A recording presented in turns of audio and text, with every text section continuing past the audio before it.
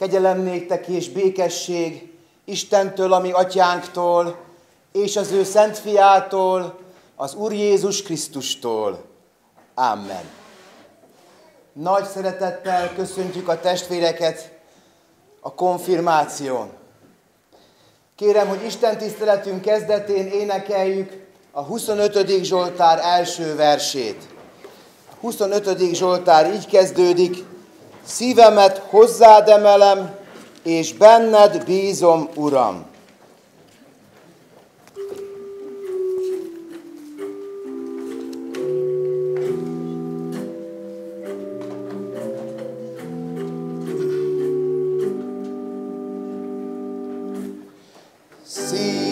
Szívemet hozzád emelem,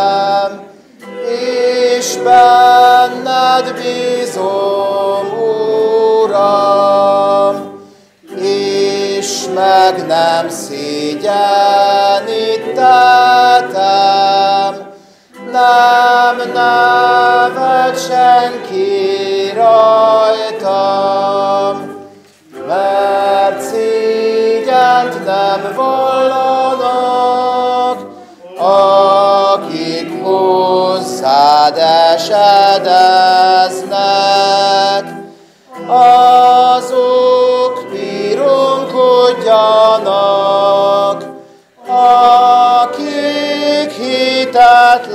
hitetlenül élnek.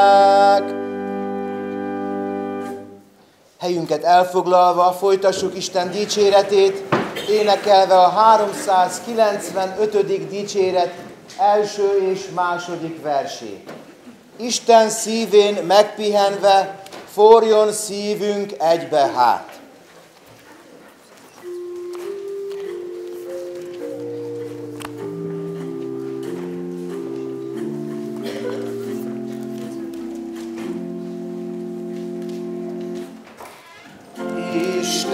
Isten szívén megpihenve, forjon szívünk egybe hát. Hétünk karja úgy ölelje, édes megváltunkat át. Ő fejünk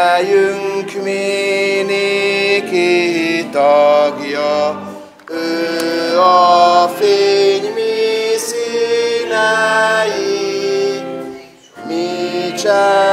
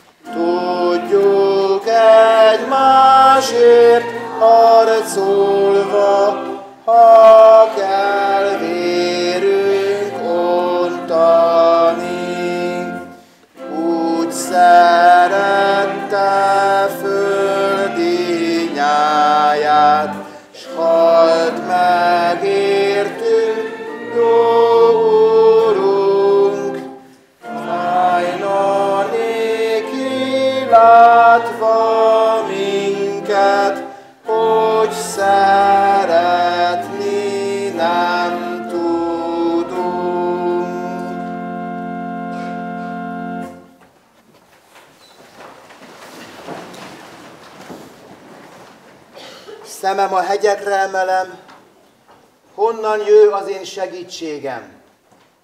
A mi segítségünk legyen ma is az Úrtól, aki Atya, Fiú, Szent Lélek.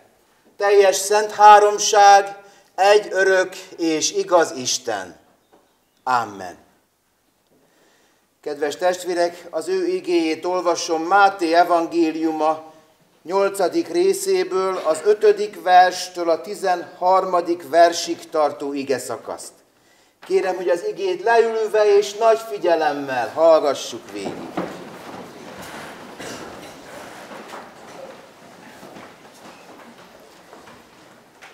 Amikor Jézus Kapernaumba érkezett, oda ment hozzá egy százados, és kérte őt.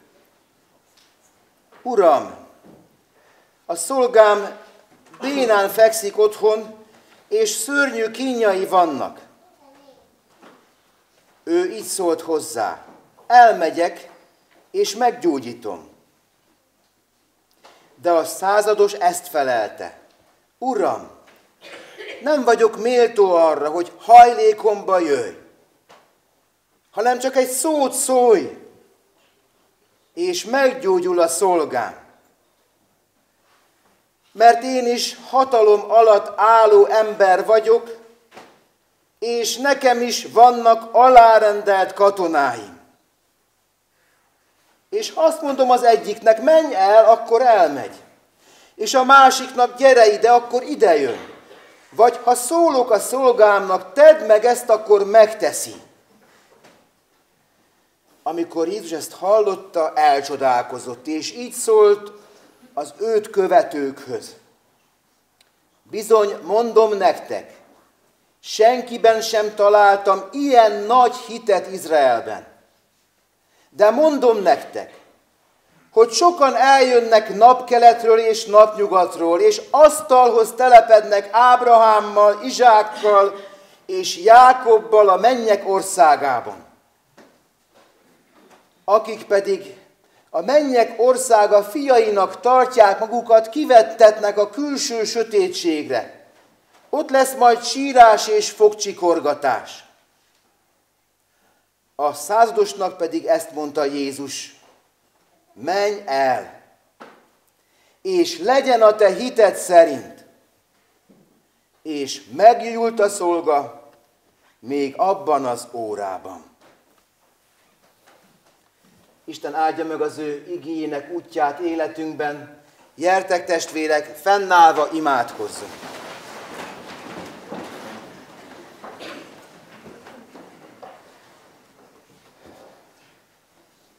Urunk, köszönjük neked a csodát, amit együtt élhetünk meg. Köszönjük ezt a 17 drága ifjút, leányokat és fiúkat. Köszönjük, Urunk, az elmúlt évet, közös utunkat, a készülődés alkalmait, és szívről adunk hálát, Urunk, mindenért, ahogyan lelkeddel bennünket erősítettél, ahogyan legyőztél minden akadályt, ahogyan egyszerre itt állhatunk és megszólalhatunk, legyen ezért és mindenért tied a dicsőség. Köszönjük, hogy jobban ismerhetünk téged. Köszönjük, hogy van szavunk és valhatunk rólad és köszönjük a bizonyosságot, hogy velünk vagy, hordozol bennünket, itt vagy, jelen vagy, Úr Jézus Krisztus, jövel, igéddel és szent lelkeddel áld meg ezt a gyülekezetet. Légy a mi gyógyítónk, megerősítőnk. Segíts, Urunk, hogy hadd szolgáljuk a Te dicsőségedet. Amen. Kedves gyermekek, most lehet indulni a gyermek Isten tiszteletre. Szente Sándorné, Julika néni külön nektek készült erre az alkalomra.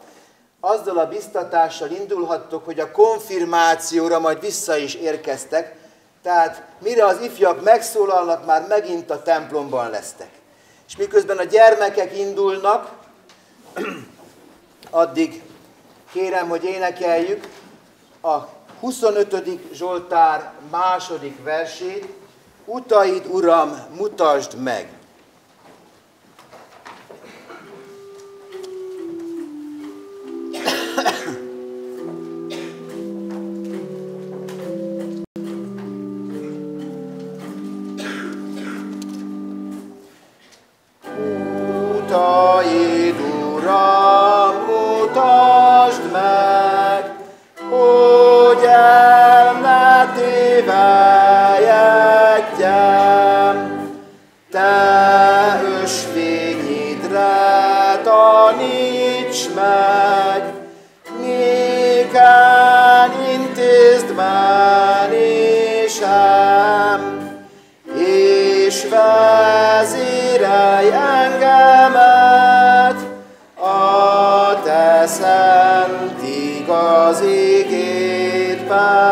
Isten, oltalmazd életemet,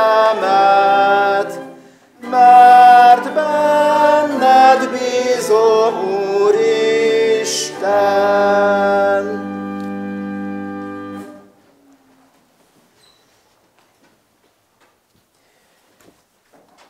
Kedves testvérek, az a Szentige, amelynek alapján most közöttetek Isten üzenetét hirdetni kívánom, megírva található a már felolvasott ige szakaszban Máté evangéliuma 8. részében, ehhez olvasom még Lukács evangéliuma 7. részéből a negyedik és az ötödik verset. Amikor odaértek Jézushoz, sürgetve kérték, méltó arra, hogy megtedd ezt neki, mert szereti népünket, ő építette a zsinagógát is nekünk.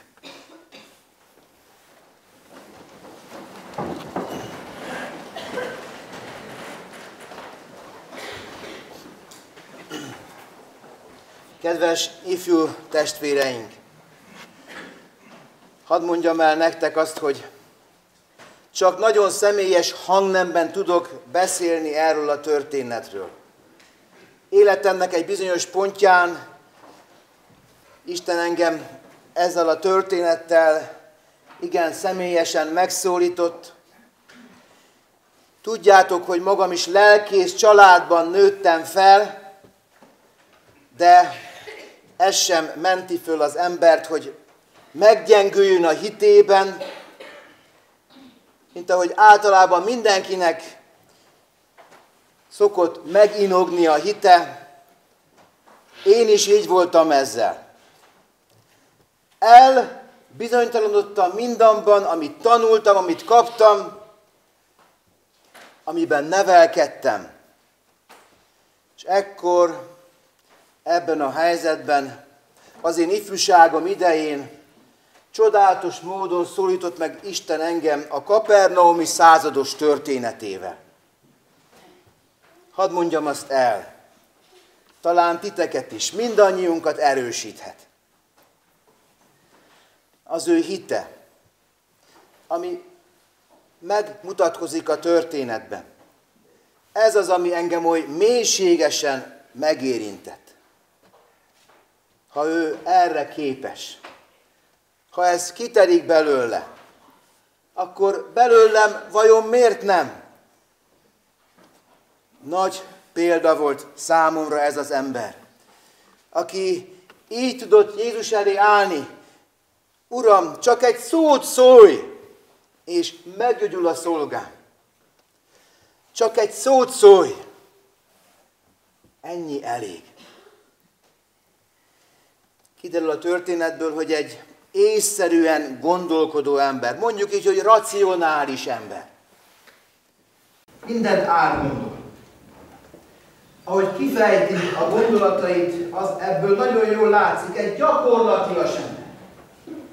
De egy ilyen észszerűen gondolkodó, egy ilyen gyakorlatilag ember milyen mélyen tud inni a megtapasztalással, a gondolattal nincs ellentétben a hite.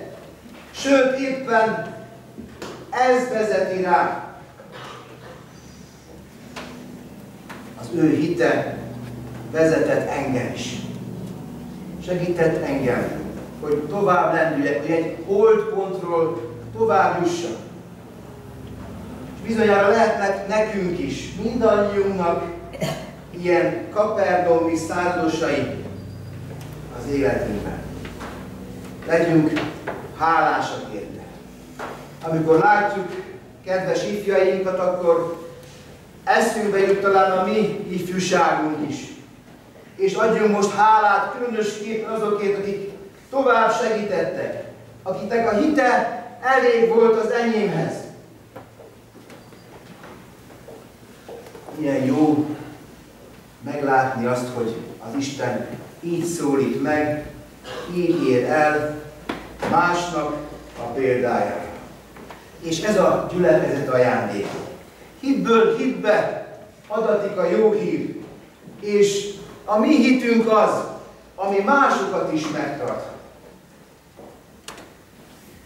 Lehet elbizonytalanás a hitünkben. Igen, kedves testvéreink, kedves lányok és fiúk, mindannyian megvalljuk, hogy van ilyen, amikor úgy egy kicsit megrendül az ember.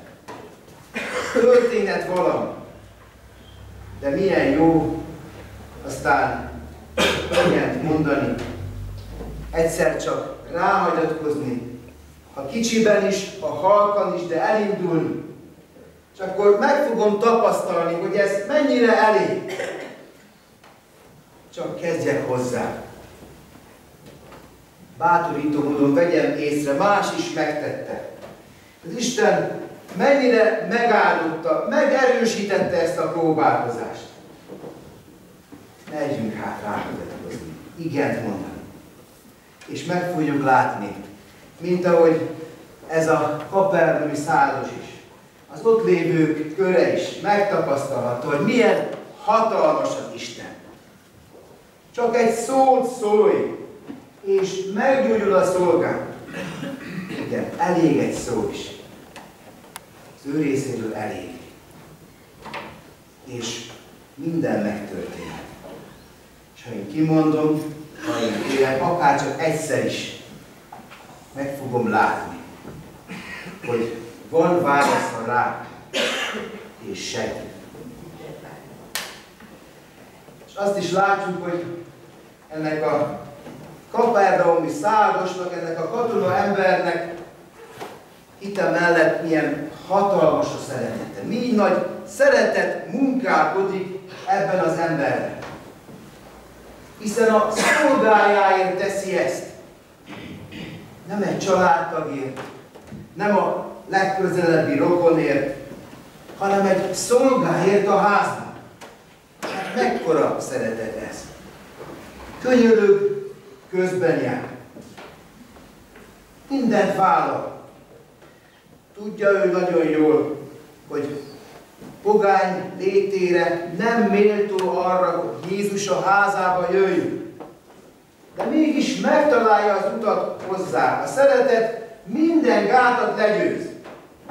Mondjuk így, hogy a hite, a szeretete együtt lesz elég ahhoz, hogy mindezt megtegye. Hite meggyőzi, hogy kérjen. Szeretete megerősíti, hogy Jézus elé járni. A szerető szívű ember talál utat Istenhez. És most mindezt azért is mondom ki, mert tudjuk azt rólatok, hogy mennyi szeretet munkálkodik a szívetekben.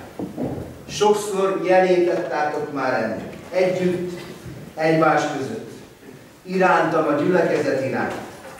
Lehetnek csodálatos megtapasztalások. Most ez a szeretet az, ami segít, ami előbbre vihet, hogy meglássam, megtapasztaljam az Isten és az ő hatalmát. És hogy mennyire munkálkodott ember az emberrel a szeretet, arra jel lesz az is, hogy az előjárók Lukács evangéliuma szerint, ahol szintén olvassuk a történetet. Kérlelni kezdik Jézust. Tedd meg neki, mert megérdemli. És emlegetik, hogy hogyan segítette a zsinagóga építését, hogyan adott oda mindent, amit csak adhatott, és a hely, ahol Isten tisztelik és imádják, megépülhessen. Hogyan volt lélekben egy pogány létére a gyülekezettel. Ekkor a szeretet lakik benne. És ez a szeretet, amit visszaigazol. Nos, kedves testvérek, kedves lányok és fiúk, valóban így van.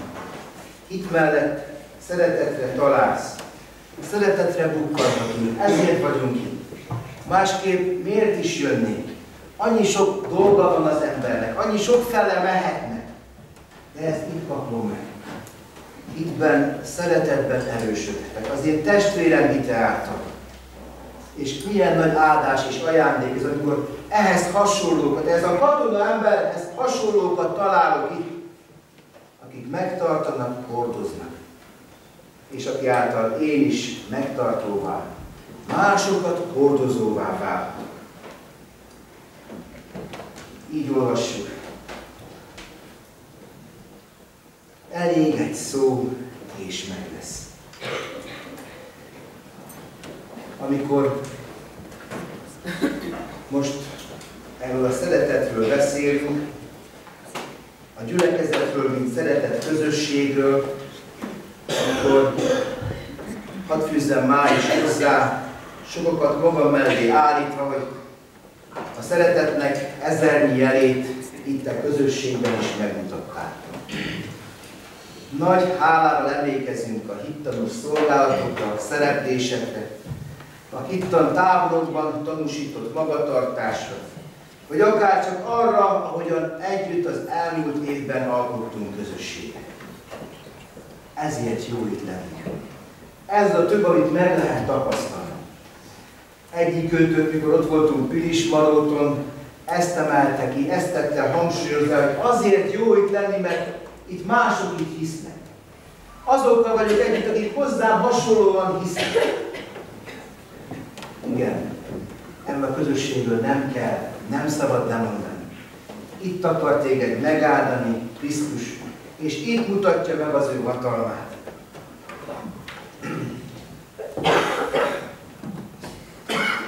Elég egy szó, és meg. Nos, látjuk, a százados így fogalmaz, nem vagyok méltó, hogy a hajlékomba jön de a szolga mégis meggyújt. Lehet ez most is így. Bár nem látom, az ő megdicsőült testében már ott ül az Atya Istennek jobbján, de annál inkább tudom, érzem, hogy elég nékem az ő szava. Hogy mindenre elég az ő hordozó kegyelme, irántam való szeretete. Megmutatja neked is, nekem is ma is az ő hatalmát.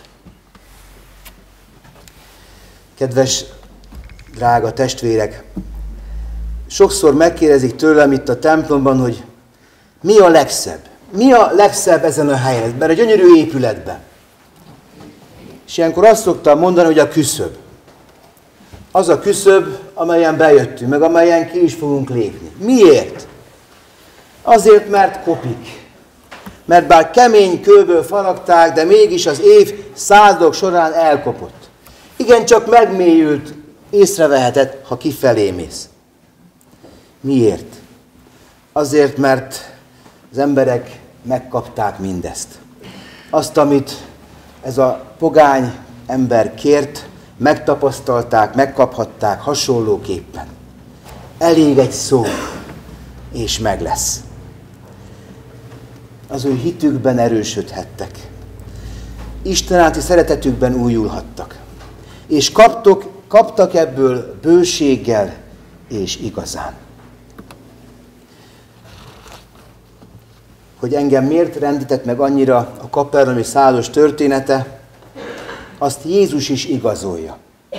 Azt mondja, bizony mondom nektek, hogy nem láttam még ekkora hitet Izraelben egyszerre jellé válik, példává válik. Jönnek majd más népek is napkeletről és napnyugatról, északról és délről, és asztalhoz telepednek az én atyám országában. Így lehet ez. Te is ott lehetsz. Ott lehetsz a választottak közösségében. Istennek van szava a te hívásodra, van válasz a te hitedre, és megtart, csodálatosan felemel az ő szeretetében. Eredj el, és legyen a te hited szerint. Az ígére válaszolva, és a konfirmációra készülve énekeljük a 370. dicséret első versét, Jövel, Szentlélek, Úristen!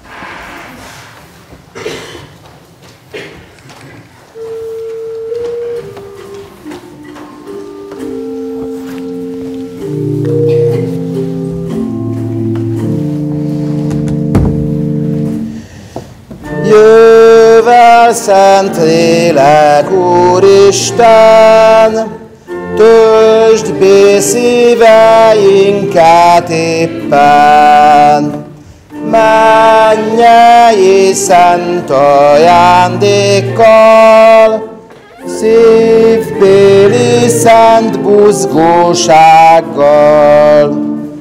Mennyei szentséges ereje, nyelveket egyező hitre, egybe gyűjte sok népeket, kik mondván így énekeljenek. Halleluja, halleluja.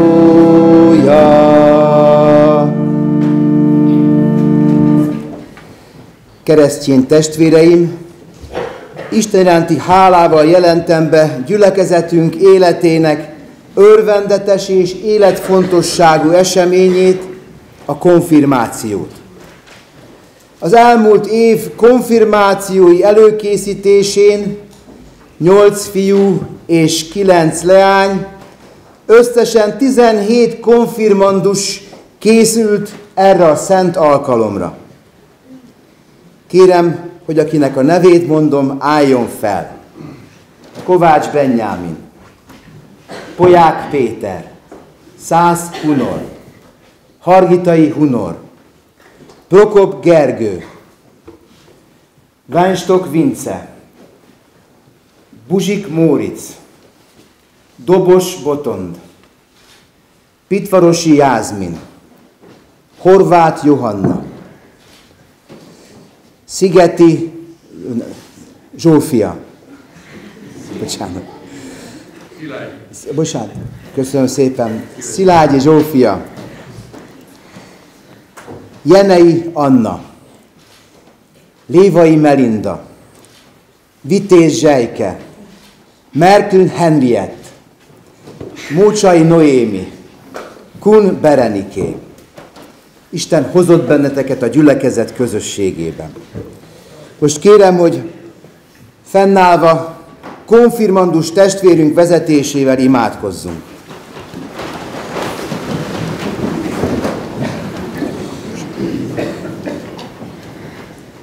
Könyörülj rajtunk, szánd meg igyekezetünket, hogy szeretetben és igazságban, hitben és alázatosságban hadd kövessünk téged. Adj világos értelmet és érzéket, hadd lássunk téged. Alázatos értelmet és érzéket, hadd hallhassunk téged. Hívő értelmet és érzéket, hadd dicsérhessünk téged. Ámen. Amen.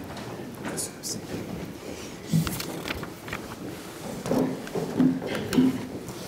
Foglaljuk el a helyünket. Az igaz keresztény hitről azt tanítja a hitvallásunk, hogy az egyrészt Isten kijelentését igaznak tartó ismeret, másrészt Isten iránti bizalom. Ezért mielőtt nyilvános hitvallást tennétek a gyülekezet színe előtt, adjátok bizonyságát annak, hogy megismertétek református keresztény hitünk igazságait. A tanult KT alapján válaszoljatok a kérdésekre. Itt kell megjegyeznünk, hogy a tegnapi napon 14 fős vizsgabizottság előtt kedves konfirandus testvéreink csodálatosan számot adtak a tudásukról. Kiemelkedően jó vizsgaeredmények születtek. 17-ből 9-en értek el maximális 92 pontszámot. Egy fő 91 pontot, 2 90-et, 2 89-et, egy fő 88-at és két fő 83-at. A neveket nem mondjuk, mert egyedül Istenné a dicsőség. Most kérlek benneteket, hogy akinek a nevét mondom, álljon ide mellém és válaszoljon a feltett kérdésre. Vitéz Zsejke.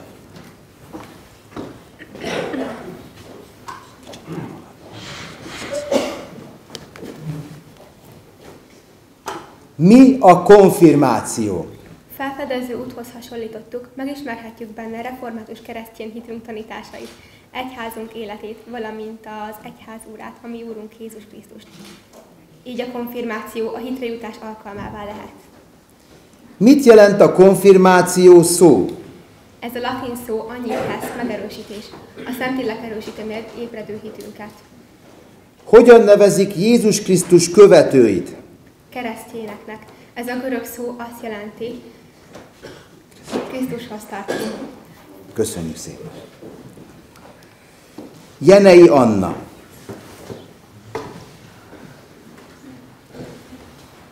Te a kereszténység nagy családjának melyik ágához tartozol? Én református keresztény vagyok.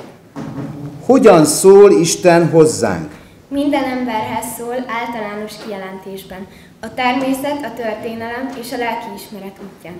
Ám a bűn miatt az ember nem képes arra, hogy ezt megértse, ezért van szükség a különös kijelentésre. Mi a különös kijelentés? Isten igéje.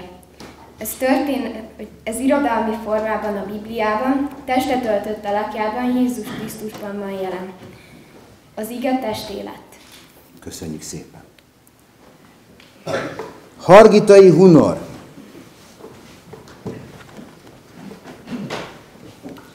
A Biblia hány főrészből áll? Két főrészből, az Ó és Új Szövetségből. Az Ó Szövetségben 39, az Új Szövetségben 27 könyv van. Így a Bibliában összesen 66 könyv. Mi a Biblia eredeti nyelve? Az Ószövetségi Héber, az Új Szövetségi Görög. Magyar először Károly Gáspár, Gönci református esperes fordította le. Megjelent 1590-ben Vizsgolyban. Mi a Biblia központi üzenete?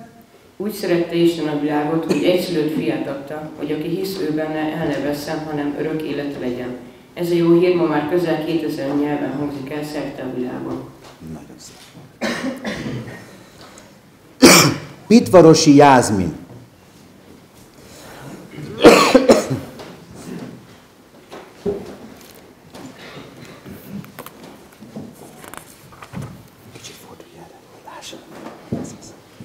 Mit figyelhetünk meg a hitvallás szerkezetében?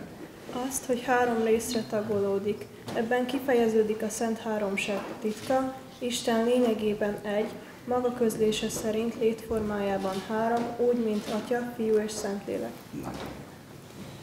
A hit és a tudás ellentétek? Semmiképpen sem, mert a hit ellenség, ellentéte a hitetlenség, a tudás ellentéte pedig a tudatlanság. Köszönjük szépen. nagyon jó. Merkel Henriett. Mi vagy ki a teremtés csúcsa? A teremtés csúcsa az ember, akit Isten a maga képére és hasonlatosságára teremtett. Ez azt jelenti, hogy Isten igazsága, szentsége és szeretete tükröződhet benne. Ugyanakkor a földkerekség urává is tette Isten az embert. Nem azért, hogy a hatalommal visszaéljen, hanem azért, hogy gondoskodó szeretettel vigyázzon Istentől kapott lakhelyére. Mi a gond viselésbe vetett hit? Isten szeretetének állandó megtapasztalása.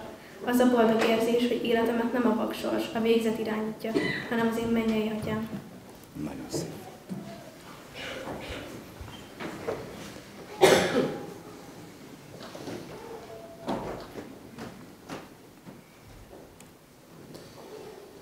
Múcsai Noémi.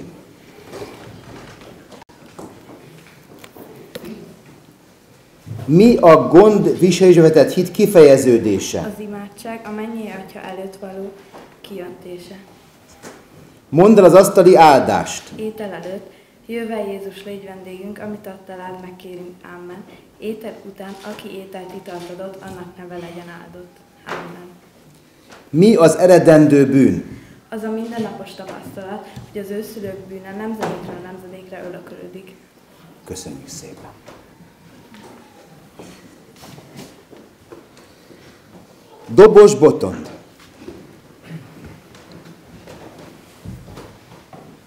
Honnan ismerjük meg legjobban bűnös voltunkat? Törvényben, amelynek a foglalata a tíz parancsolat, ez Kávi János szavaival élve, tőke, fék és ösztöke számított. Hányféleképpen védkezhetsz Isten és a felebarát ellen? Négyféleképpen. Gondolatban, szóval, cselekedettel és mulasztással. Mit vallunk Jézus Krisztus személyéről? Azt, hogy ő egy szemében valóságos Isten és valóságos ember, mint valóságos Isten, a Szent Háromság második személye, mint valóságos ember, ami testvérünk. Kiváló, köszönjük szépen. Horváth Johanna.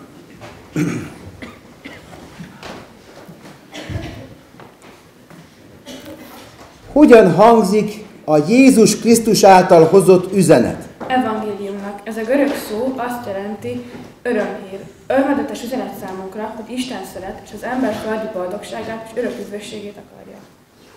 Miben áll Jézus Krisztus hármas tiszte? Abban, hogy ő proféta, főpap és király. Te részt vehetsz -e az ő hármas tisztében? Igen, profétai tisztem, hogy nevéről én is vallást tegyek, főpapi tisztem, hogy szívemet, mint égő áldozatot hálából neki adja, és királyi tisztem, hogy bűneim ellen harcoljak. Köszönjük szépen. Prokop Gergő.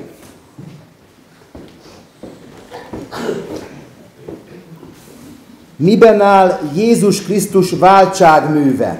Szent, élet, szent életével és ártatlan halálával eleget tett Isten igazságának. Ezzel számunkra bűnbocsánatot nyert. Mikor lesz számodra nyilvánvalóvá a kereszt titka? Amikor a Szentlélek megmutatja előttem, hogy miattam, értem és helyettem történt kereszthalála. Köszönöm szépen. Vánstok Vince.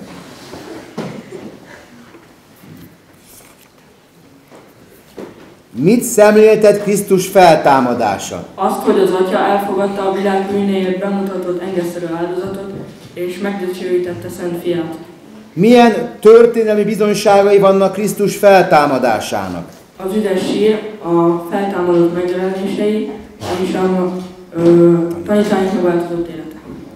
Mi a husvéti hit következménye a te életedben? Az új élet ö, engedelmessége és az örök élet reménysége. Gyönyörű. Köszönjük szépen. Kun Bereniké.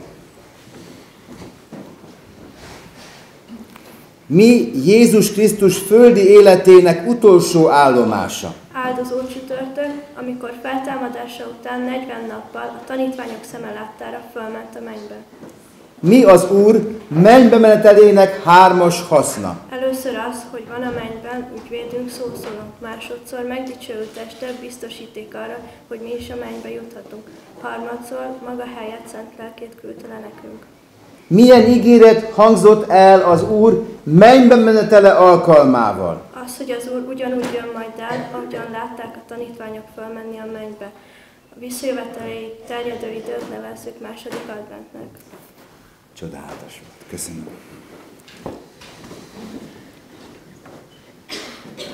Lévai Melinda.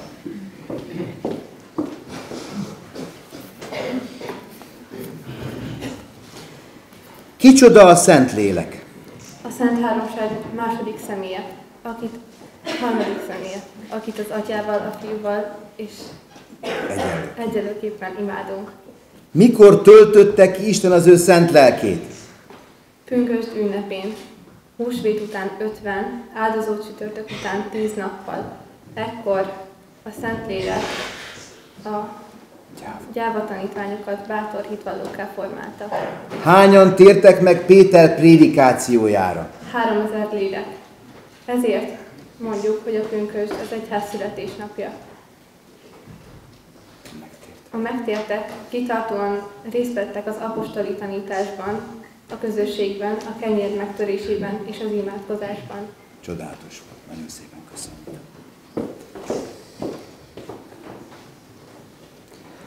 100 hunor.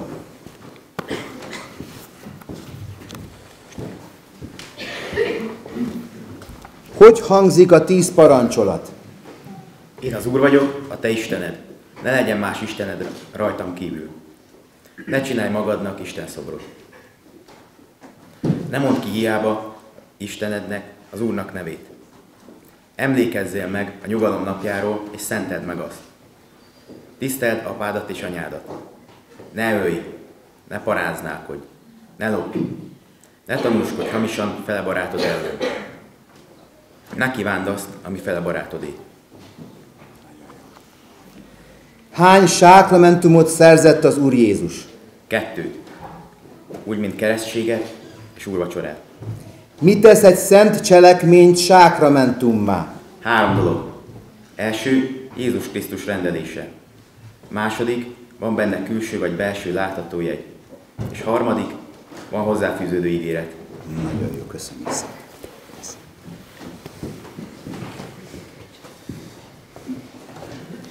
Poják Péter.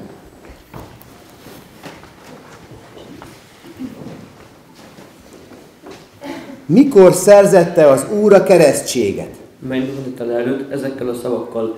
Nekem adatot minden hatalom menjen és földön, menjetek el, tehát legyetek tanítványa minden népet, megkeresztelve őket az atyának, a fiúnak és szentléleknek nevében, tanítva őket, hogy megtartsák mindazt, amit én parancsoltam nektek. És íme én veletek vagyok minden napon a világ végezetéig. Mi a keresztségben a külső jegy? A tiszta víz, amely Jézus vérét jelképezi. Ahogyan a víz lemossa a test szennyét, úgy tör le Jézus vére a lélek szennyét, a bűnt.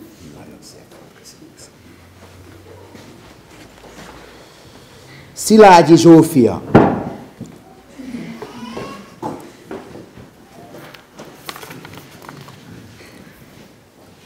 Mikor szerzette az Úr Jézus az urvacsora sákramentumát? Kereszthalála előtt, az utolsó vacsorán nagy csütörtök este. Azon az éjszakán, amelyen elárultatott, vette a kenyeret, és hálát adva megtörte, és ezt mondta. Vegyétek, egyétek, ez az én testem, amely ti érettetek megtöretik. Ezt cselekedjétek az én emlékezetemre. Hasonlóképpen vette a poharat, miután megvacsoráltak, és ezt mondotta. A pohár, am az új szövetség az én vérem által. Ezt cselekedjétek, valamennyiszer isszátok az én emlékezetemre. Mert valamennyiszer eszitek a kenyeret, és isszátok a poharat, az Úrnak halálát hirdessétek, amíg eljön. Gyönyörű volt, nagyon szépen köszönöm.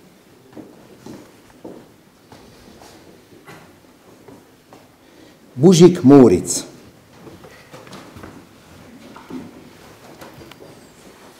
Hogyan imádkozol kenyérvételkor? Uram Jézus, a Te megtöretett szent testednek érdemében részeltes engemet szegény bűnös szolgálat. Ámen. Hogyan imádkozol pohárvételkor? Uram Jézus, a Te kiontott szent vérednek érdemében részeltes engem szegény bűnös szolgálat. Ámen. Mi az urvacsorában a látható jegy? Kenyér és a bor Jézus Krisztus megtöretett testét és kiontott vérét jelképezi.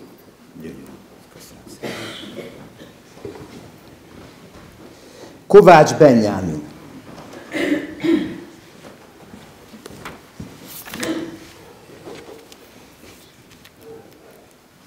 Hogyan nevezzük az egysá- egyházak egységtörekvését? Ökumenikus mozgalomnak alapja Jézus Krisztus főpap imádsága, amelyben azért könyörögött az atyához, hogy követői mindnyájan egyek legyenek.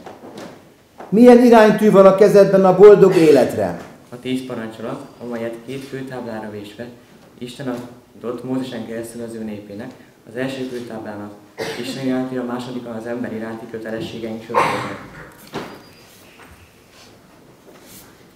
Hogyan foglalta össze az Úr Jézus a tíz parancsolatot, valamint az Ószövetségben található 248 parancsot és 365 tilalmat?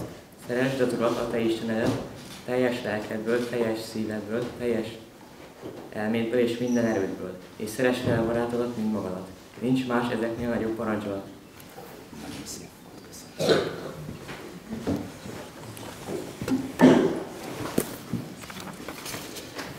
Bizonyságot tettetek ismereteitekről, most járuljatok az urasztalához és tegyetek vallást. Isten és a gyülekezet színe előtt hitetekről, tegyetek fogadalmat a Krisztusról és az Anya Szent Egyházhoz való hűségetekről.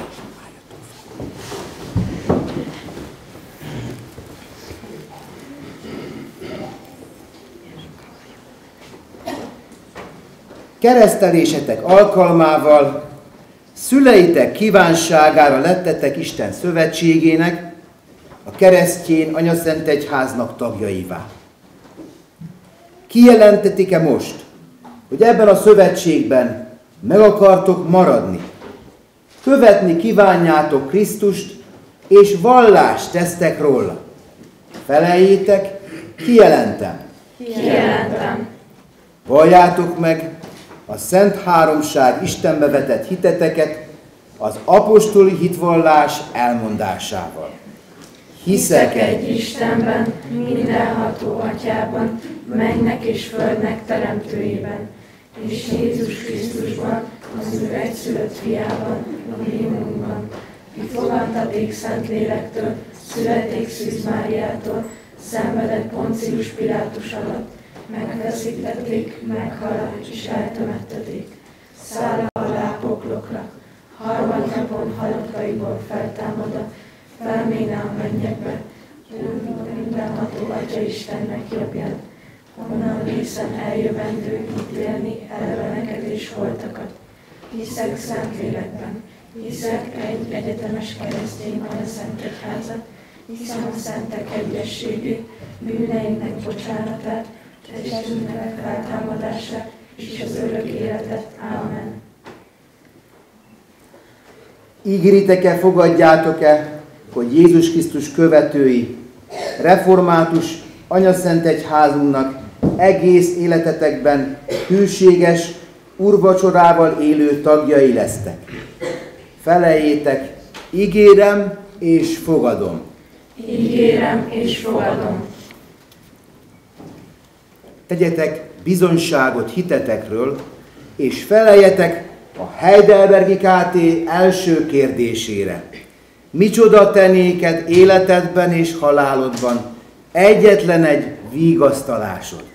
Az, hogy testestől, lelkestül, mind életemben, mind halálomban, nem a magamé, hanem az én hűséges megváltónak, Jézus Krisztusnak a tulajdona vagyok. Ő a drága vérével minden bűnömért tökéletesen elegette, és engem az ördögnek minden hatalmából megszabadított, és úgy megőriz, hogy a mennyei atyának akarat nélkül egy hajszál sem esetik le a fejemről, sőt, inkább minden üdvösségemre kell, hogy szolgáljon. Ezért szent lelke által engem az örök élet felől biztosít, és szív szerint készé és hajlandóvá tesz arra, hogy ezen túl ő neki éljek. Köszönjük.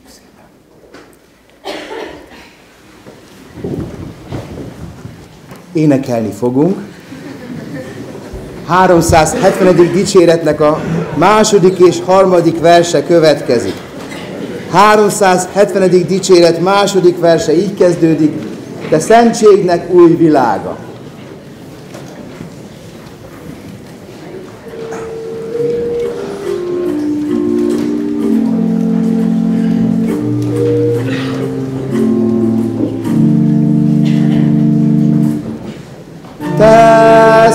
Szentségnek új világa, ígédnek vezérj útjára. Taníts téged megismernünk, Istent atyánknak neveznünk. Őriz hamis tudománytól,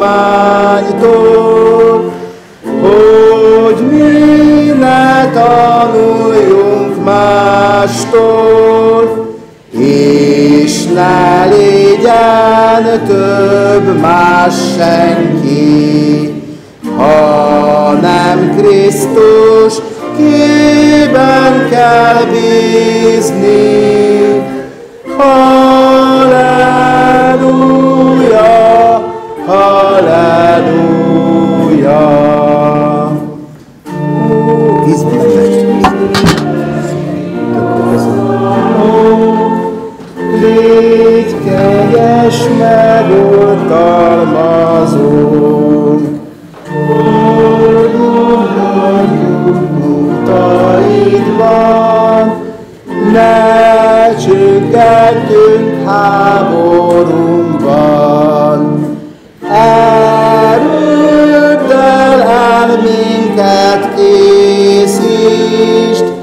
gyenge hitünket erősíts, hogy halál és élet által hozzád siessünk hamarság.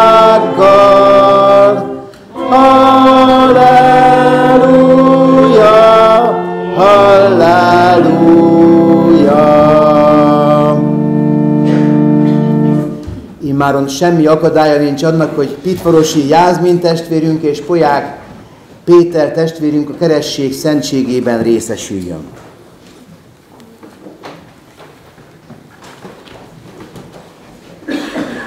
Kérdezzünk benneteket, testvéreink! Készek vagytok-e elfogadni Isten szövetségét, és a Szent Keresztség által a keresztjén Anyaszent Egyház tagjává, Jézus Krisztus követőjévé lenni. Felejétek a Szentlélek segítségét kérve igen. A Szentlélek segítségét kérve igen.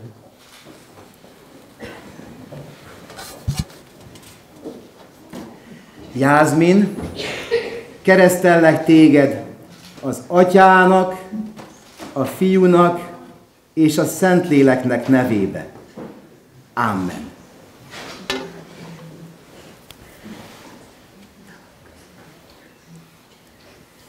Péter, keresztellek téged az atyának, a fiúnak és a Szentléleknek nevébe. Amen.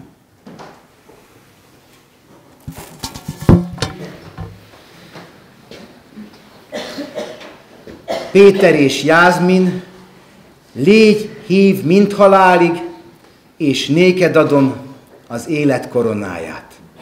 Amen.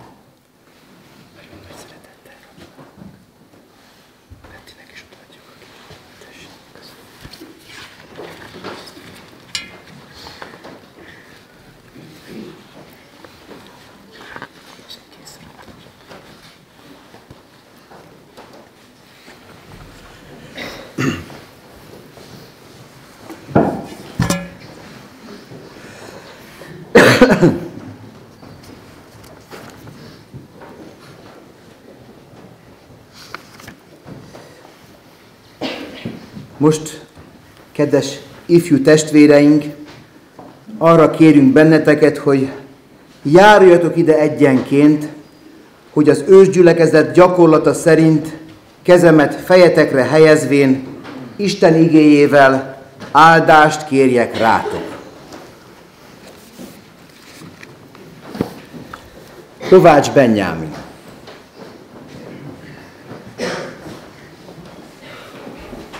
Boldog ember az, akinek te vagy erőssége, és akinek a te ösvényeid vannak szívében. Amen.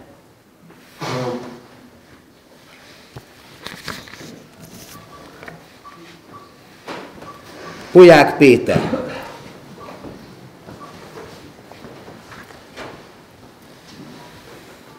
Simon Péter így felelt. Te vagy a Krisztus, az élő Istennek fia. Ámen.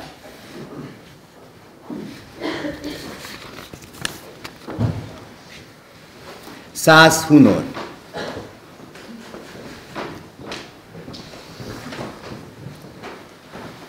A hit pedig a remélt dolgok felől való bizalom, és a nem látható dolgok felől való meggyőződés. Ámen.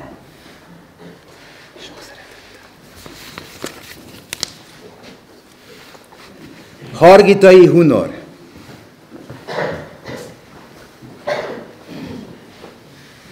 Én az engem szeretőket szeretem, és akik engem szorgalmasan keresnek, megtalálnak.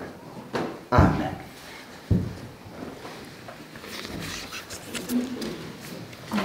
Prokop Gergő.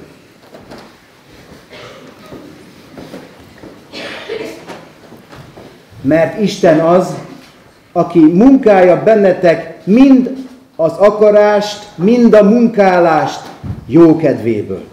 Nagyon sok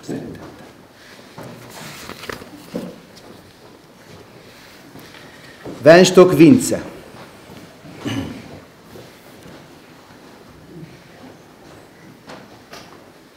Jézus mondja, én vagyok a szőlőtő, és ti a szőlővessző. Aki én bennem marad, és én ő benne, azt terem sok gyümölcsöt. Jézus sagt, ich bin der Weinstock, und ihr seid die Reden. Und wenn ihr in mir bleibt und ich in euch bleibe, der bringt viel Frucht. Amen.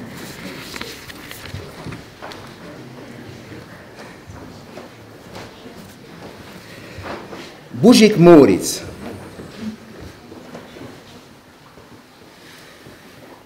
Érezzétek és lássátok meg, hogy jó az Úr. Boldog az az ember, aki benne bízik.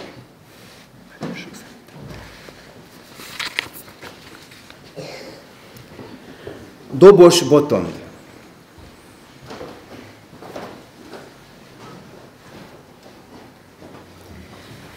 Jézus mondja, ti az én barátaim vagytok, ha azokat cselekszitek, amiket én mondtam néktek. Ámen.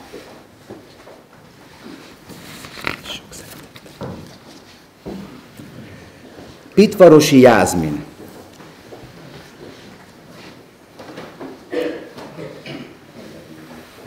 Mi drágák nekem szándékaid, Istenem, mi hatalmas azoknak száma. Több a homokszemeknél.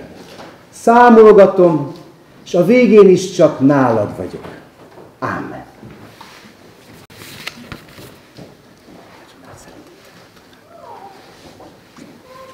Horváth Johanna.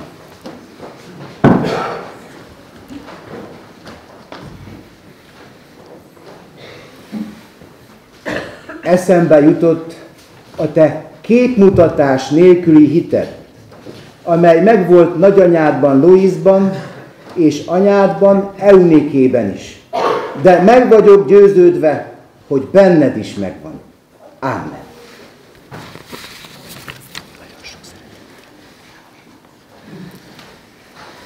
Szilágyi Zsófia.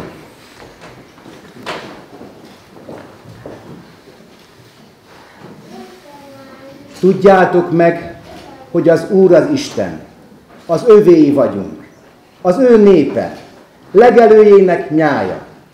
Adjatok hálát neki, áldjátok nevét.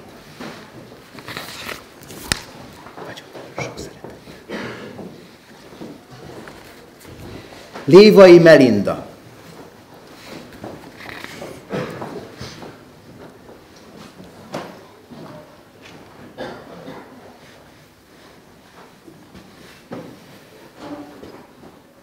Szeretettel és irgalommal koronáz meg.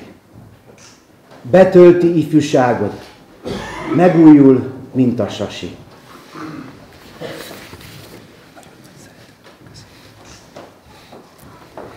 Jenei Anna.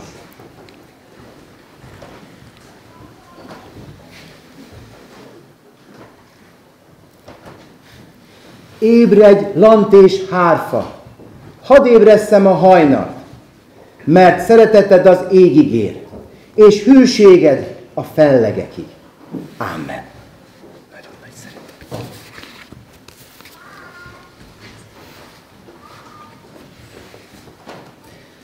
Vitéz Zsejke.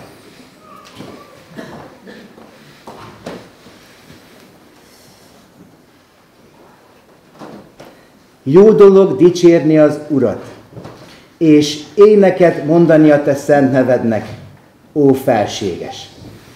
Amen. Ez is hozzátartozik. Merkül Henriett.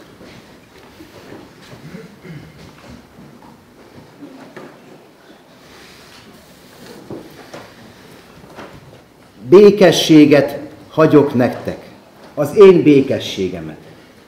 Nem úgy adom, ahogy a világ adja. Ne nyugtalankodjék a ti szívetek, és ne is rettegjen. Ámen. Nagyon sok szeretet.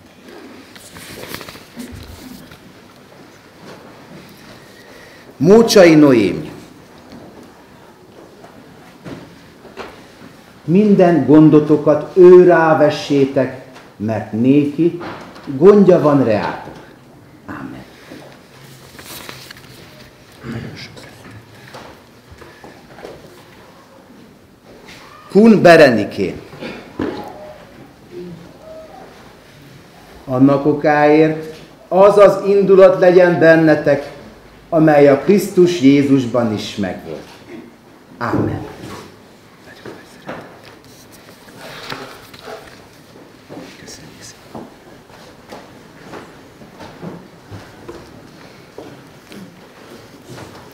Most pedig, mint az Úr Jézus Krisztusnak és református anyaszentegyházunk elhívott szolgája, egyházunk önálló, urvacsorázó tagjaivá nyilvánítala titeket a Szent Háromság Isten és az ő gyülekezete nevében.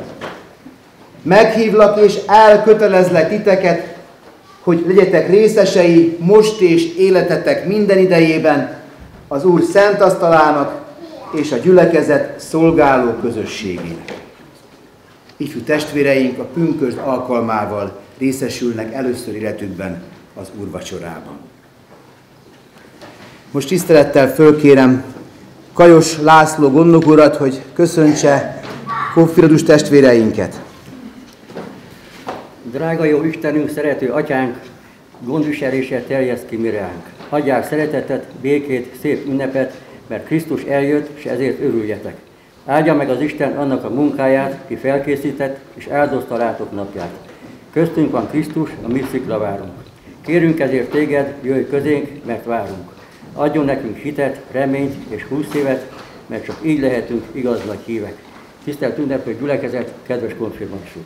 Szeretettel köszöntelek benneteket egy szép május ünnepnapon konfirmálásotok napján.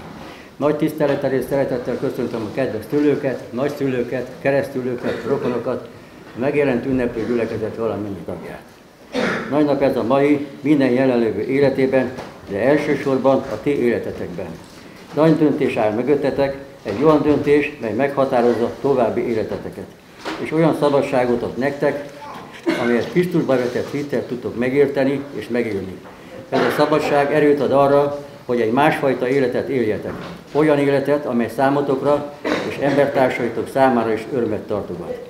A mai naptól kezdve egy olyan útra léptetek, amely igen keskeny. De ezen az úton megtett minden egyes lépés közelebb visz Istenhez, pásztorunkhoz. Ahhoz a pásztorhoz, aki soha nem resztél a kezünket. A bajban, megpróbáltatásban élünk.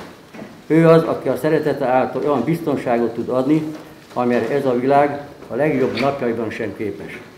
Merjetek ezzel a szeretettel élni, átadni belőle a családotoknak, a barátaitoknak és mindenkinek, hiszen a szeretet nem kerül pénzbe. Az, attól nem szegényebb, hanem gazdagabb leszel. Kedves fiatalok! A tegnapi nap folyamán a vizsgátokon bizonságot tettetek arról, hogy ismeritek a református egyház tanítását. A mai napon mindent elmondhatok a mi hitünk igazságáról. Mi megvárjuk nektek, hitet nem tudunk adni, azt nektek magatoknak kell megküzdeni és megtartani. Mi egyet tehetünk, biztosítjuk számotokra a hitélet fenntartásának lehetőségét és a gyülekezet közösségét. Barátaitok, osztálytársaitok lehet, hogy nem értik meg, hogy ti a konfirmálást ilyen fontosnak tartjátok. De ti ne törődjetek ezzel. Lehet, sőt biztos, hogy akik ma kétkedve figyelnek benneteket, holnap irigykedni fognak rátok, hogy ti miért vagytok mások, miért vagytok különbek. Legyetek büszkék református vallásotokra. Legyetek büszkék arra, hogy így már a Pós megyeri lányfalui gyülekezet tagjai vagytok. Legyetek büszkék arra, hogy a keresztény emberek családjához tartoztok. Kedves gyermekek! Azt, hogy most itt lehettek egy csodálatos hajlékban, a túlasztal körül, elsősorban szüleiteknek, nagyszüleiteknek köszönhetitek. Az ő szeretetük és hitük nélkül valószínűleg most máshol lennétek. Köszönjétek meg gyermeki szeretettel az édesanyának és az édesapának, hogy mindig számíthatatok segítségükre és tanácsaikra. Az ő életük eddig is csak rólatok szólt, és életük végéig ti lesztek a legfontosabbak számukra.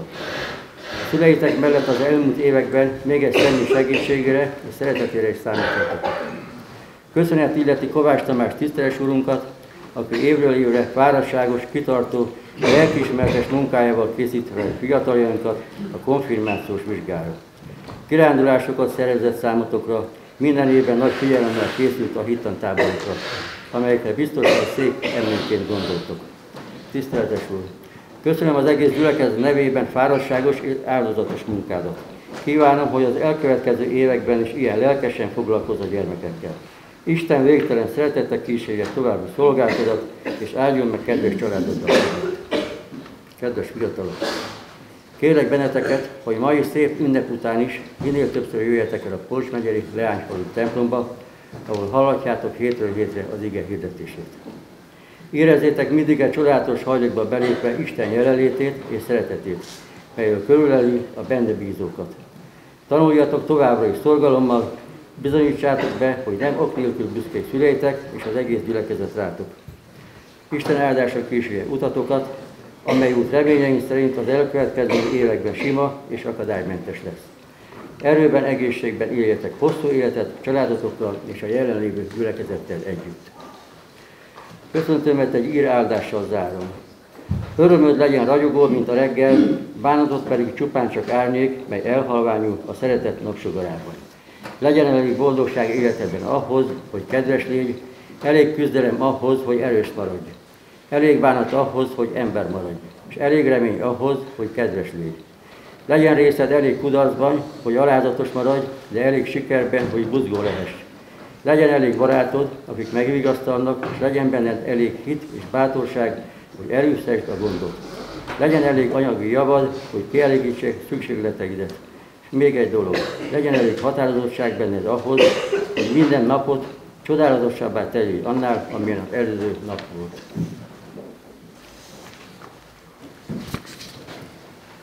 Köszönjük szépen.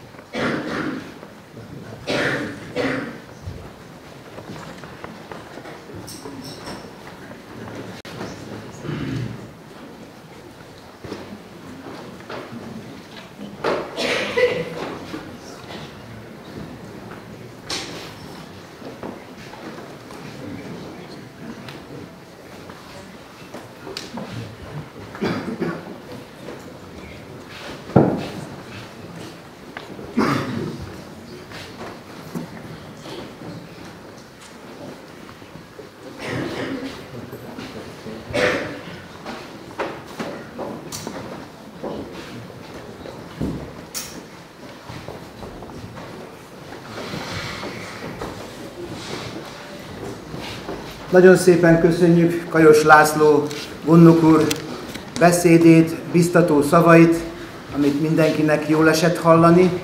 Most Szlávik Robert gondnok úr következik, aki a Leányfalui gyülekezet gondnokaként köszönt benneteket.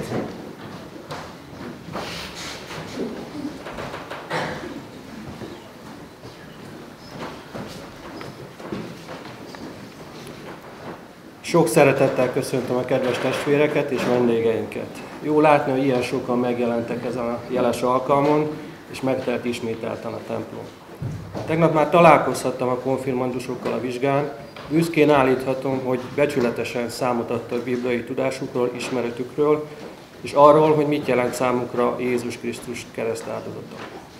Idén 17 konfirmandus erősítette meg Krisztushoz és a református egyházhoz való tartozását. Miért jó konfirmálni? Miért jó ez az elköteleződés? Tehetjük fel a kérdést. A konfirmáció egy ünnep, ünnepi alkalom. Ünnep a családnak, ünnep a gyülekezetnek, és ünnep a mennek is. Aki konfirmál, az megerősítést nyerhet a Szentlélektől, az üdvössége és örök élete felől. A konfirmáció után úgy járhattok a gyülekezetbe, mint úrvacsorával élni kívánó és teljes jogutagok. Jézus nektek mondja ezeket a bátorító szavakat a Máté 10. rész 32. versében. Aki tehát vallást tesz rólam az emberek előtt, arról majd én is vallást teszek mennyei atyám előtt. Köszönet és hála.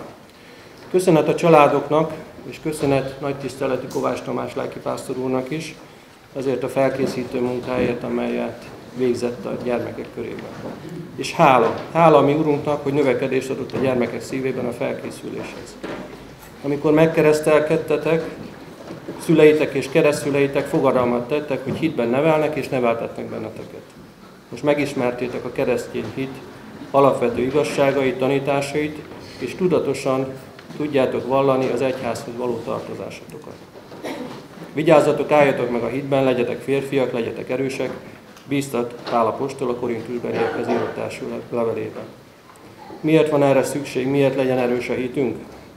Azért, mert a világon ma a legüldözöttebb vallás a kereszténység a 21. században. Ezért kell, hogy növekedjünk hitben. A hitben való növekedés kérdéseket vethet fel. Tudom erősíteni a hitemet otthon? Igen, amikor imádkozom, vagy a Bibliát olvasom. És tudom erősíteni a hitemet a templomban, vagy pedig a gyülekezeti alkalmakon. Bizonyára igen, hiszen a testvérek által a hit növekedhet mi bennünk is. Merjük próbára tenni tehát Istent. Járjunk el templomba rendszeresen, és nézzük meg, mi lesz az eredmény az életünkben. Merjünk adakozni is, hiszen a jókedvű adakozót szereti, és megáldja az Isten. Ez azt jelenti, hogy ne kényszerűségből, hanem szívvel és lélekkel adakozzunk. És itt nem csak pénzbeli adományokra gondolunk, hanem arra is, hogy adakozhatunk az időnkből. Adakozzunk minőségi időt a családunknak, adakozzunk minőségi időt a gyermekeinknek és a gyülekezetnek. Adakozhatunk erőnkből is, és tudásunkból is. Bízunk benne, hogy a Jóisten arra fog használni bennünket, amely a legjobb. És jusson eszünkbe az is, hogy adakozásunkkor nem mi adunk a Jóistennek, hiszen mindent tőle kaptunk, csak visszaadunk abból, ami tőle származik. Hogyan válhatunk erőssé? Építsünk magunkban erős hitet. Az erős hittel erős családot tudunk építeni, erős családokból lesz erős gyülekezet, erős gyülekezetből épülhet meg újra az egyház, és megújult egyházból jöhet létre erős társadalom és megújulni képes nemzet. Leányfalon hittanévzáró és gyülekezeti nap lesz következő vasárnap. Töltsük együtt ezt a kellemes délelőttöt is, és fogyasszunk el egy finom ebédet. Erre hívok mindenkit, akik megjelentek itt most, a kedves családokat, a konfirmandusokat, fiatalokat, és régen volt fiatalokat. És bíztatok minden kedves konfirmandus, hogy pünkös vasárnapján pedig legyünk az úrvacsorai közösségben együtt. Befejezésül pedig szeretném átadni a gyülekezet ajándékát, mindenkinek egy névre szóló Bibliát. És kívánom, hogy legyetek erősek a hitben és növekedjetek. Áldás békés. Nagyon szépen köszönjük Szlávi Robert Gondok úr szavait is.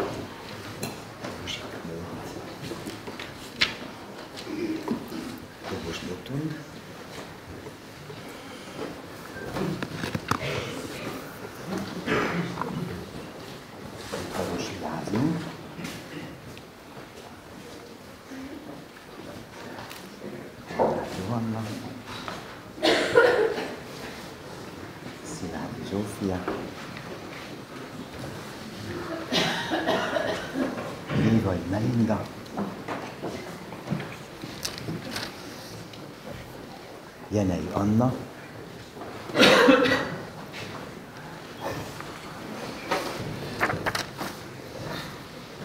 Vitéz Zsejke.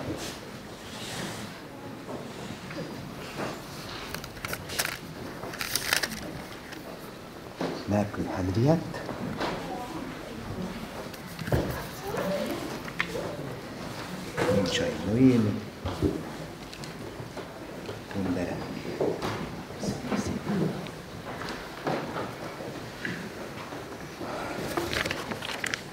Nagyon szépen köszönjük ezeket a szívhez szóló szavakat, de még az ifjúság nevében is szeretném benteket valaki köszönteni.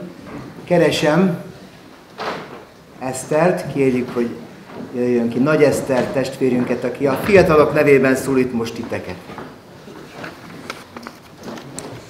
Áld, áldás békesség, sziasztok! Mondandómat igyekszem rövidre fogni. Két éve mi egy nehezebben fegyelmezhető csoportnak számítottunk, a tavalyiak szintén. Nagyon remélem, hogy ti idén megkíméltétek Tiszi bácsi idegeit. Végigtért egy út számotokra, ami lehet néha döcögősen ment, néha meg megállt, sőt lehet tolatni akart vissza, de most már a célvonal túl, túloldalán álltok. Annó, amikor én élvezhettem a Rivalda fényt, amit most ti, az összes vizsga és válaszadások után, végigfutott a felismerés bennem, hogy egy, hogy egy bizonyos szinten felnőtté váltam. Eszembe jutottak a gyermekisten tiszteletek, a hittanórák, évvégi előadások, felejthetetlen hittantáborok, Tiszi bácsi dobszólói a hittantáborok alatt, és az a sok jó, amit fiatalabb éveim alatt gyűjthettem be a gyülekezettől. Hitet, segítséget, barátokat kaptam. Az, hogy ti megtettétek ezt a hatalmas lépést, sokaknak köszönhető. Elsősorban Istenünké a hála, hogy elvezetett titeket, szép pillanatokat adott nektek, és engedi, hogy átjárja titeket az a megnyugtató érzés, hogy a közelében vagytok. Köszönetet mondhatunk szüleiteknek, rokonaitoknak, akik megadták nektek a támogatást, és most is jelen vannak ezekben a meghatározó pillanatokban. Végül, de nem utolsó sorban Tiszi bácsi a köszönet. Minden felkészítő óráért, konfis kirándulásért, amik után még fog fájni a szívetek, minden Mikulás ünnepségért és biztató és kedves szóért, amiket készfogáskor kapunk, a táborokért, zenélésekért és persze kedvességért és odaadásáért. Az egész gyülekezet nevében mondom azt, hogy jó érzés, hogy itt vagytok. Nem egyszerű időszakon vagytok túl, vizsgákkal, felvételékkel, kétségekkel megfűszerezve, de megérdemelten ültök most itt. Még nemrég friss felnőtt adok tanácsot nektek, friss felnőtteknek. Használjátok ki az összes kis alkalmat, amit csak lehet, mert elképesztőek. Menjetek gabóval Erdélybe és Csillagpontra, nem mondjatok nemet Tiszi bácsinak, ha felkért titeket, mert ajándék neki, ha vele. Legyetek aktív tagjai az ifjúságnak, járjatok el vasárnap, akkor is, ha nehéz, mert az Isten tiszteletek a szívetekhez szólnak, és ne hagyjátok ki a Mikulás ünnepségeket se, mert akárhány évesek vagytok, az ajándékcsomag jár. De a legfontosabb, hogy gyermeki bizalommal forduljatok Urunk felé. Nincs miatt kételkednetek, kérdezzetek tőle, legyetek kíváncsiak rá. Hagyjátok, hogy munkálkodjon bennetek. Mind ki, mind ki akarunk teljesedni, de ez csak akkor sikerülhet, ha engedjük a Teremtőnek, hogy belnyúljon az életünkbe. Ahol feltűnik az a szó, hogy felnőtt, ott valahol a felelősség is megbújik. Soha ne felejtsétek el, hogy egy olyan családba kerültetek most bele, amiért felelősséggel tartoztok. Sőt, egyedi és páratlan személyiségetekkel lesz szebb és tökéletesebb közösségünk. Megadatott nektek az a lehetőség, hogy mások és magatok lelkét műveljétek, példaként szolgáljatok mások számára. Működjetek ragyogó és vezető csillagokként, akik attól féljenek, hogy Jézusom napsugarai megvilágítják őket, utat mutatva ezzel azoknak, akik segítségre szorulnak. Ez nap mindig ott van mögöttetek, melegen tartva titeket, biztonságot nyújtva nektek. Végezetül egy számomra fontos idézettel szeretném zárni a mondandómat. Bármit is csinálsz most, az hullámokat kelt és mindenkire hat. Testtartásod árulkodhat boldogságról vagy aggodalomról. Leheleted áraszthat szeretetet, vagy eltölti az egész szobát óskomorsággal. Pillantásod örömet éleszthet, vagy szabadságvágyat ébreszthetnek. Te befolyásolsz, te teszel jobbá, szebbé, tartalmasabbá. Minden tetted képes arra, hogy megnyissa az emberek szívét és tudatát. Elsősorban és első kézben szeretnék nektek gratulálni a konfirmációhoz, kívánom Isten áldását családotok számára és egész életetekre is. Nagyon szépen köszönjük ezt a gyönyörű beszédet Esztertől, megszívláljuk. Most egy énekszámmal szeretnének benneteket köszönteni. Az előbb említett Tóth Gabi és Mester Ádám, akiket már jól ismerhettek, ha máshonnan nem, hát Pilismarótról.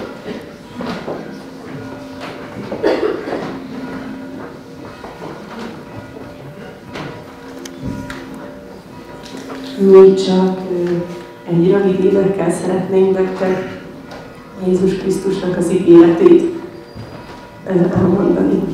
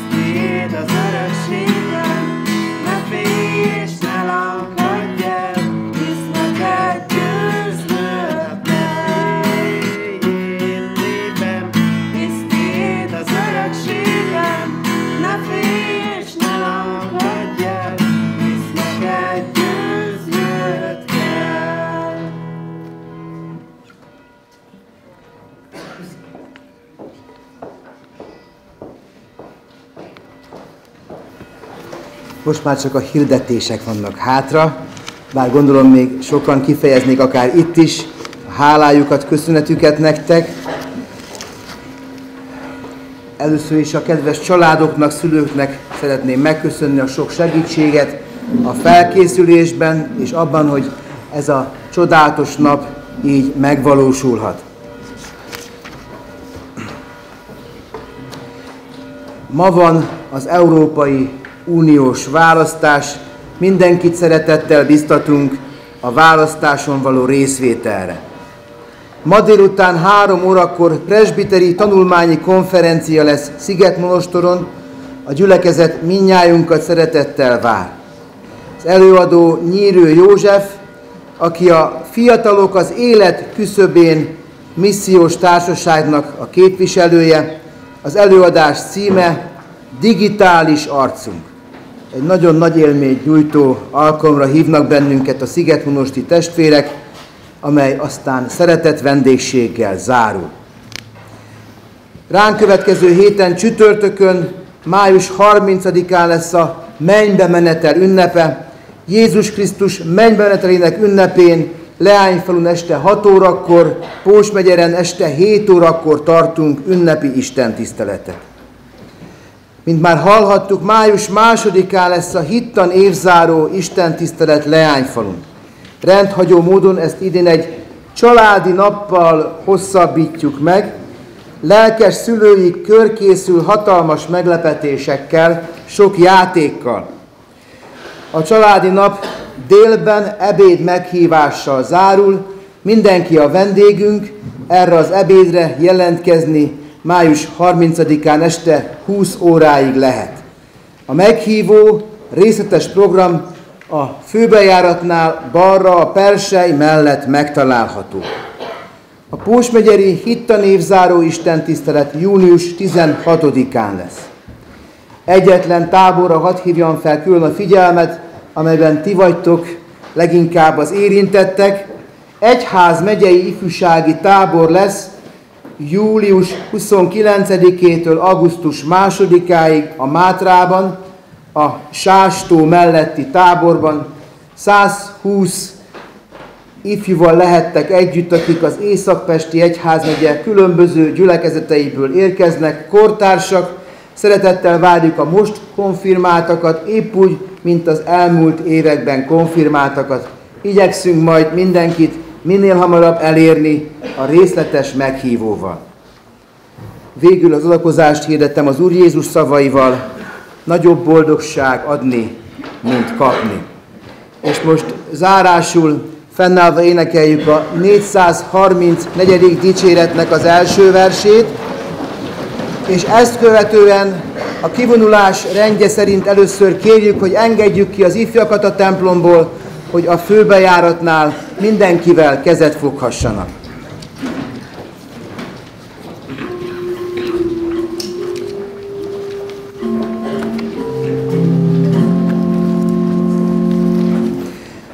Vezes Jézusunk, s véled indulunk, küzdelemre hív az élet, hadd kövessünk benne téged, fogjad a kezünk, míg megérkezünk.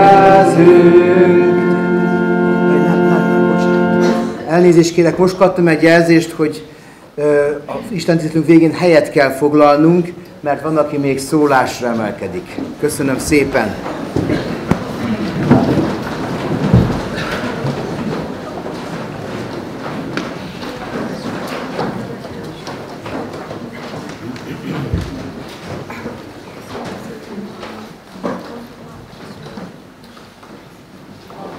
Nagyon-nagyon szépen köszönöm nekik, és az egész csoportnak nagyon szépen köszönöm. Puszit Jó, és nagyon szuper. Köszönöm szépen.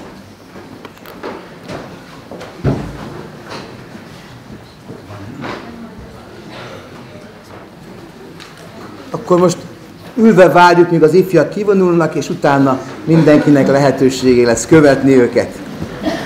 Gyertek! Benni, Benni.